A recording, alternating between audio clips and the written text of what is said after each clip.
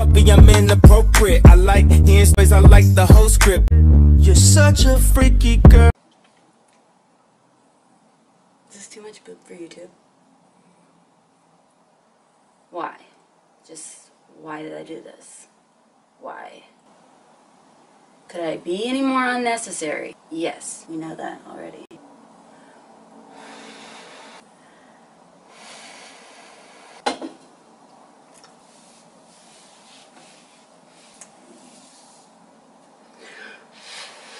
Why? Why? Why? Why? Why? Why? Why? Just why? I mean, we just woo saw that right off of there. We can fucking move on with our lives, eh? God damn it. Sorry. What should we talk about? Let's talk about the time I did mushrooms last. Last time I did mushrooms. So, it was a day, just like any other day, except for on this day, I was really struggling with my, you know, dependency or drug addiction or whatever that keep, I mean, you know, if you've been a drug addict ever or whatever, I mean, like, it's nothing. Okay, let's start over. Um, okay, on this day, I on this particular day, I was struggling with some things, and I was trying to get over those things. And I knew in my head that doing certain psychedelics, we can have this talk later, but I'm pro psychedelic. Pro psychedelic. I'm not pro ecstasy that's cut with speed. I'm pro psycho fucking delics as they exist in nature. Okay? Psilocybin, dia dimethyltryptamine. On this day, I was struggling with some things and I was trying to get over them. I was trying to get over my negative headspace. Jumpstart to my soul, a little something to snap me out of it because it's like walking down a snowy hill. The more that you walk down the same path, the same path, the same path, well, all of a sudden, that's the only grooves that the sled will go down the hill in, right? Well, when fresh snow falls, when you take psychedelics, when you have a mushroom trip, when you have a DMT trip, all that shit resets your brain. Keep in mind, I don't know who I'm speaking to in this audience 100%. I would love to get to know all of you. And I appreciate every one of you for your opinions, your individual opinions, whatever those may be, and however you were raised, and whatever your mindset is that works for you. I'm all for that. But if we go by fact, there has never been a death from DMT. There's never been a death from mushrooms. Yes, sometimes stupid people encountering mushrooms, tripping on mushrooms, make stupid decisions every now and then, but no one has ever died from taking mushrooms or from taking DMT. So now that we're past that, I was kind of searching for something. I was searching for something. I was searching for something. And then a friend hit me up. It's somebody that I went and had drinks with on multiple occasions. It's just a friend that I've never done anything sexual with or whatever, that I've never, you know, just a friend that we vibe on the same fucking level. And whatever he does is what he does, and whatever I do is what I do. And it's totally, completely separate. Go have drinks with you right now and tell you that I'm a fucking unicorn. And you're gonna be like, oh, word, you're a unicorn unicorn. But do you know that I'm a unicorn? I could tell you I'm a hoe, but do you know that I'm a hoe? If, unless you know that I'm a hoe. So you get my drift, right? We're all just people, peace, love, and harmony. Okay, so he happens to hit me up out of the blue and is like, hey girl, I came up on like an ounce of mushrooms. Did you want to go up to, first he said San Francisco, then he changed it to Auburn and, and microdose with me and like go on a little hike and like just see some sights. Like I've been feeling depressed lately and I really really need to get out of that. So like I'm thinking this will like shake it up. And I'm like, uh-uh. like I knew we were sisters, but I didn't know we were twins. Like me too, bitch, me too. And so I was like, hell yes, I'm down for some microdosing. Like for sure, I've got to be back home by six. Here's where you can pick me up. Like I'm cool with that. Like I'm down with that. So I've hung out with him before. If y'all is homosexual and you want a new best friend, hello, I am here for you. Anyways, am I being fucked up? I don't think so. I get along with men a lot better. I don't know about y'all, but I don't keep my soul in my pussy. Pretty weird place to keep it. Moving on. I knew that he was my friend and that we have vibed before and nothing bad has ever happened. We probably had went and had drinks. Yeah, I've gotten sloppy drunk with him 10 times at the bar. 10 times and nothing's ever happened. So we get it. He asks me for advice often. I talk back to him, whatever. So I'm like, okay, yeah, yippity skippity. I know I've got to be back home by 6 because I have to leave with my best friend to drive out because she has a job. And I know I have to leave at 6 p.m., so keep that in mind. So, and she doesn't like this guy for whatever reason. She just doesn't trust him, whatever. She told me not to hang out with him, whatever. I don't know. He's never done anything to me. I've never seen him do anything. Everything's cool. I pack my backpack with a pair of sandals and a pair of shorts and all this, like, you know, like stuff that I would need, right? And so I'm like, best friend, I'm going to the river. I will be back by 6 o'clock. Don't worry. I know you're counting on me. I know you're depending on me. Don't worry. I'll be here. So I meet him in my car because I don't let anybody to my house. I don't let anybody know where I live. I meet him in my car a couple blocks over and get in his car. And we proceed to drive down the freeway. We're laughing. I take over his aux cord. I'm playing music. He's stuck in fucking 2001 and I'm clowning him because that's what I do best and like whatever. We make it to Auburn and he's like, yeah, thank you for coming with me. This is chill. Like, I just wanted to have a chill time and kind of like reset my brain. I've been going through some things and all this other shit. I'm like, yeah, me too. I feel it so much. Like, I feel it in my soul. Like, this is everything. Like, thank you for inviting me. And we stop and get sandwiches and we stop at this little fucking gift shop and we get dominoes because we're gonna play dominoes, right? So then we drive to this like way, way, way, way up in the fucking hills, right? Like the furthest point you could go in Auburn. Like my cell phone connection was none. And we start um, along the side of the road and he's like, hey, this is the little forest pathway I was taught about going on a hike on. And I'm like, okay, we're like, you know, so we get out of the car, we start walking. So we're walking, becoming one with nature, and we're like, he's like, oh no, that's not the path, because there's like clearly a human path, right? There's a human driving path, there's a human walking path. But he's like going around the human walking path, and he's like, no, no, no, no, I know a way. I know a way. It's a better way. I've been down it all the times. We start going down it, I'm following him, and I'm like, bro, I don't think this is the way. I'm becoming clearly winded, sweating. Good thing I had been drinking just a little bit. And so he's like, okay, when it starts to get harder, we like sit down for a break. And he's like, hey, want some of these mushrooms now? Hell yeah, I do. Absolutely, I do. And so he gives me, I'm like, I'm just gonna take a couple of them.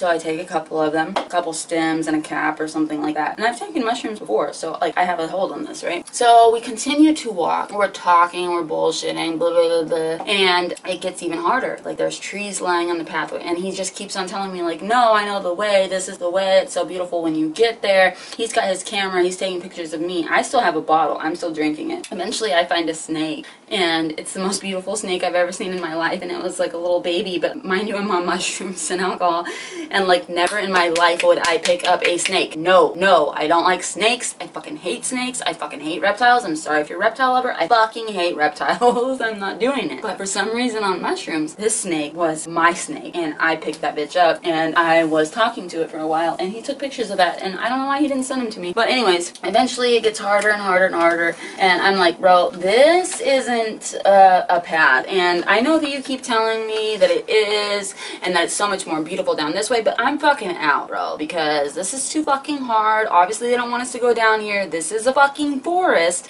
and I know there's a path right there. So he's like, oh no, okay, like I'll, I'll find our way back. I, I must have missed the turn or something. I'm gonna, and so we get separated somehow because I sit down for a second. He fucking keeps walking, and I don't hear him. Because in a forest, it's a kind of silent that's super fucking silent. To where also tra sound travels up. So if he's going lower because he's trying to find the path, I'm not going to hear him. He can hear me. No, no, wait, opposite. He's not going to hear me. I can hear him but I don't, okay, so I go, I'm like, whatever. So like we get lost somehow. I just got fucked up in all my words. But somehow we get lost, okay, from each other. Because I'm like, I walked up to the other path and I'm like, here, we could just walk on this. This is obviously a man-made path. It obviously goes down to the bottom. And by the time I get done saying that sentence, he's gone. I don't know where the fuck he went. I can't hear him. I can't see him. I'm not walking, taking the chance of walking down the path like he did and getting fucking lost and fucked up. So I'm like, okay, no matter what, if I continue to walk down this human-made path, I will be alright. I will find my way. looking for context clues. Sun rises in the east, sets in the west. Water flows whatever way I remembered then, and sound goes whatever way. And the fucking signs of humans, all this stuff played a huge part. My drunk ass is walking a little bit mushed out, and I'm like, oh, that's the river you were talking about. I see it. We passed this. Oh, there's fucking a couple water bottles and some trash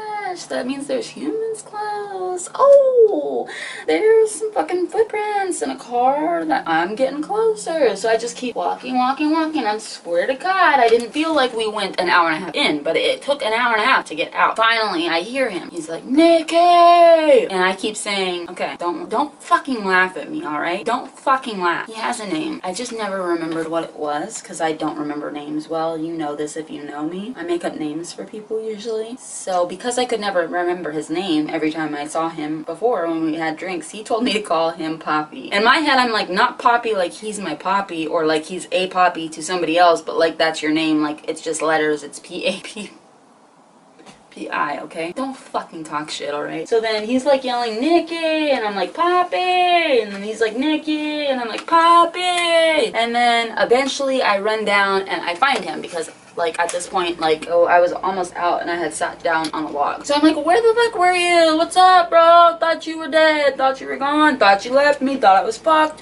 My phone died. I don't know what to do. It doesn't work out here anyways. And like I'm exhausted kind of drunk fucked up whatever. We start yelling at each other for a little while. We get in a miniature fight. Eventually everything turns out fine and he's like hey do you want to go home now? Do you want me to take you home? I know you had to go. And in my mind I'm like nothing matters but this moment. This this was a life lesson to teach me strength, and I'm going to come out of my dire depression, and I'm going to be so much better because of this. This is a pivotal moment. I need to continue this.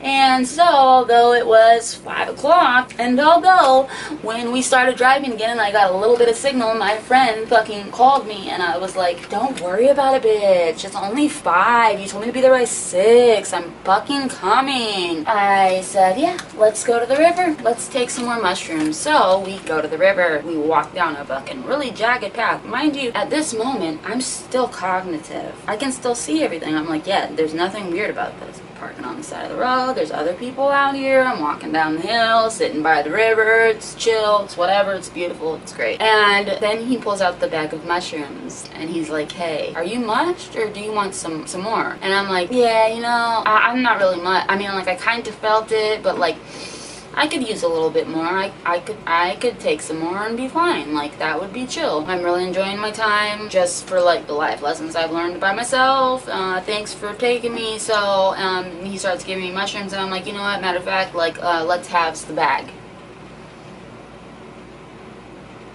In retrospect, that wasn't the brightest decision. In retrospect, that was a fucking terrible decision. Because I eat half the bag. Half the bag, bitch. Half of the fucking, half of the bag. I ate half of the bag of an ounce of mushrooms. I ate them. I was chewing them. I was swallowing them at one point because they're so fucking heinous. I'm just like chilling, like everything's fine. Meanwhile, in the forest, when I took two mushrooms, he took a handful of mushrooms. Then when I ate half the bag, he ate the other half the bag. So I'm telling you, he ate way fucking more than me. And I'm expecting this man because he weighs more and is taller and is a little bit, a little tiny bit older. And these are his fucking mushrooms and this is his car and he chose to drove, drive us out here. I'm fucking feeling like safe with this person that I really don't even fucking know their name. So we're sitting by the river, sitting by the river, sitting by the river. It gets cold. He brings me a sweater. He tells me it's his son's sweater. It is a true religion sweater. Keep that in mind. I continue to sit by the river and I'm just like, thank you so much. I start tripping fucking balls, bro. It starts looking like we are on the edge of the earth. Like this is like, you know those like 2D dioramas? That's what it started looking like. Like, and I'm like, just like nothing matters. Like I was picturing myself like, fuck it, I could just like lob myself in the river and roll the fuck off and it wouldn't even fucking matter because life is fucking all these crazy fucking things to where they weren't bad, they were great. All these fucking crazy nuts things, right? And it starts getting darker and darker and we're just like, this is so beautiful, this is great. And the tide starts rising because it's getting darker and people start leaving. We start seeing headlights, everybody's leaving. So I'm like, bro, this is when that whole sinking feeling starts to. Meanwhile, I've been drinking the whole time too, okay? This is when that whole sinking feeling starts to set in and you almost hear music playing going da da. And it's just like, what the fuck? Where? Hey. Psst. Hey. Hey. Hey, it's fucking dark outside. Don't you see? We're gonna, the tide is right here now.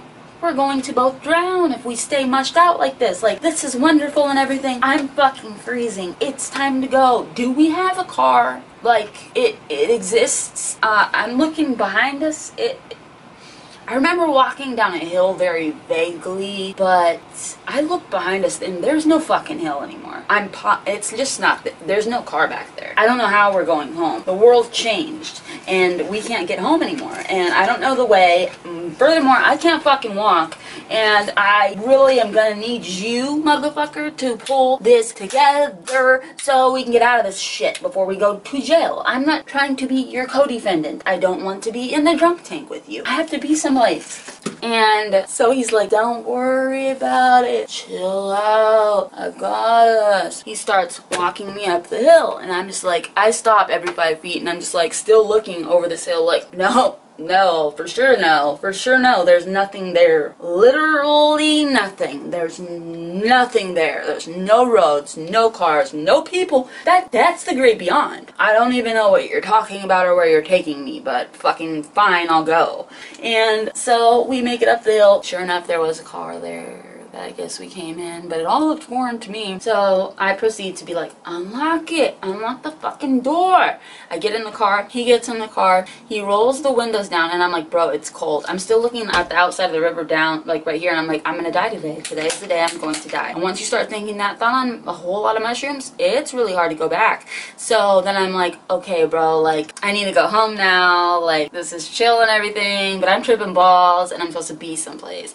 So we need to go. And he's like, starts laughing, and I'm like, oh, fuck are you mushed now? And he's like, I took so many more mushrooms than you. He's laughing his ass off. He's now got the windows rolled down, the cooler all the way on. And I'm like, bro, this is not funny. We're going to go to jail. I keep seeing headlights behind me and like I'm tripping fucking balls. Nothing's real. And I'm like, I definitely cannot drive this car right now. He's like, I can't drive this car either. I can't fucking do it either. And I'm like, yeah, no, for for sure, don't fucking drive the car. Like looking back, I was a big weenie about it and like I made made the situation so much worse than it had to be. So then I start tripping out and I'm like, okay, so there's only one person that can save us, and that's my dad. And so I proceed to call my father, and he answers and he's like, where in the fuck are you? And I'm like, um, so funny story, huh? I'm at the river.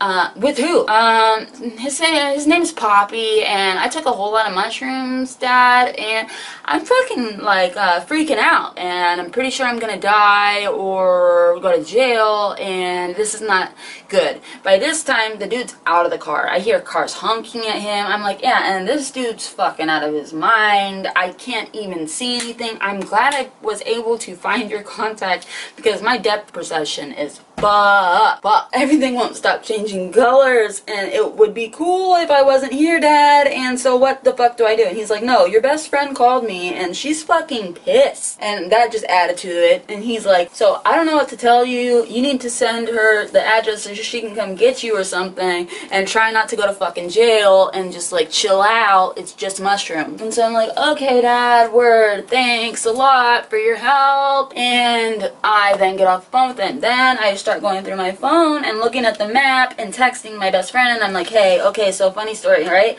Um, I need you to come get me from Auburn. Um, I'm going to send you a screenshot of me on the map. I need you to decipher where the fuck that is because I have no idea about how to look up where I'm at to tell you.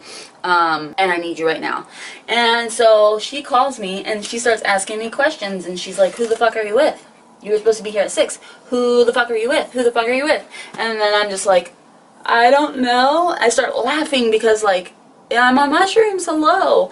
And, and it was a dick move. And so she, I'm like, I'm, I don't know his name. I don't know his name. And she's like, what the fuck do you mean? You don't know his name? What are you talking about? Why would you go with somebody you don't know his name? And I'm just like, his name's Poppy. And that's when she hung up on me.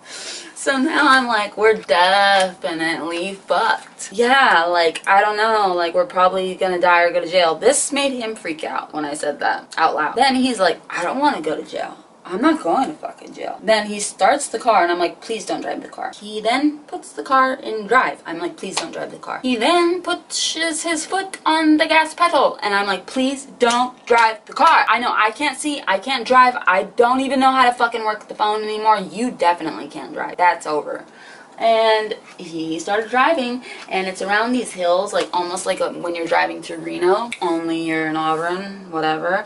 Um, and so there's super like steep super um, sharp turns everything. So he's going around like we're playing fucking Mario Kart like 100 miles an hour. Five speed by the way. I can't slow down. I can't stop. And I'm like stop the car stop the car. I saw my own death in front of my eyes okay? So I'm like there's a turn off right there. Stop the car. It's dark. Let me paint this picture for you. It's fucking dark. There's no street lights. There's no fucking cell phone service.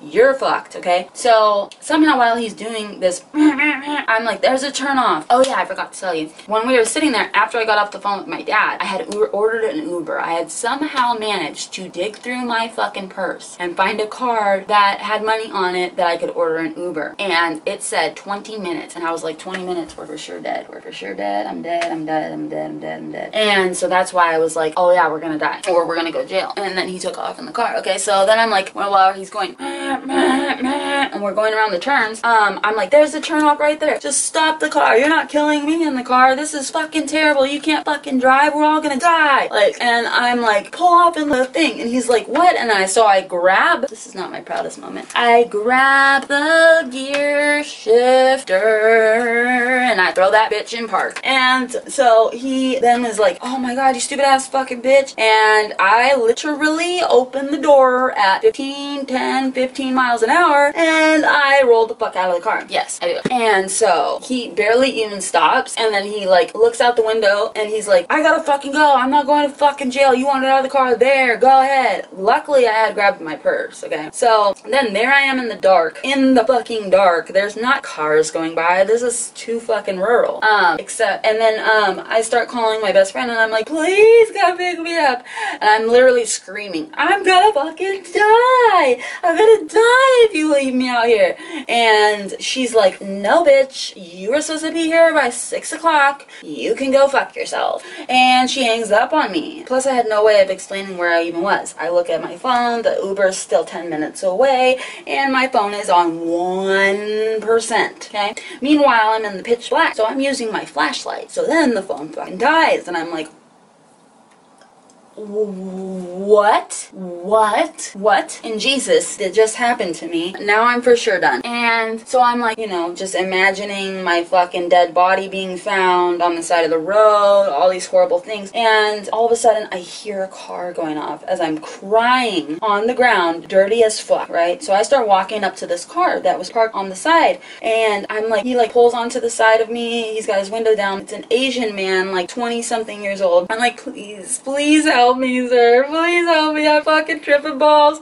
And he pulls off, bro. Like, I was like the most scariest thing he's ever fucking seen in his life. And so I'm like, okay, I start to accept it. All right, I'm gonna die out here. This is where I'm gonna die. That's okay. I love you. Dad. Shit. I see the car pull back up with the Asian guy. It's like a little Subaru. And he goes, hey! Totally just like a, one of them like, you know, hippie kids that lives up there. Uh, are you alright? And I'm like, no. No, I'm not alright. I'm not alright. I'm so far from alright. Please, can you help me? I'm not gonna hurt you. I know I look scary. This is not my sweater. It's got dirt on it. I just jumped out of the car. I'll give you $150 cash. You take it. I've got it right here. You can take it if you just drive me back to my house in Sacramento please. And then he's like, okay, just like, you don't have any weapons on you or anything, right? Like, you're not trying to rob me, right? And I'm like, no, not at all. I'm just, help. I'm tripping on mushrooms. I ate way too many mushrooms. He's like, okay, get in. So then I'm like, I start crying. Thank you, thank you, thank you. You're an angel. You're an angel. Thank you. God bless you. I fucking, we'll be friends. We can add each other on Facebook. Like, I'm gonna give you a shout out. I still don't remember his name or anything. I don't, I never give him the phone or whatever whatever. So he drives me back to Sacramento, and all of a sudden this trip starts wearing off a lot. And by this time it's like 9 o'clock at night. I had lost my car keys, I had lost my house keys, I had lost my Chuck Taylors, that's when you know it's bad. I had lost my backpack, everything, everything. And I, he ends up driving back. We get off the exit to go to my house, and he's super chill.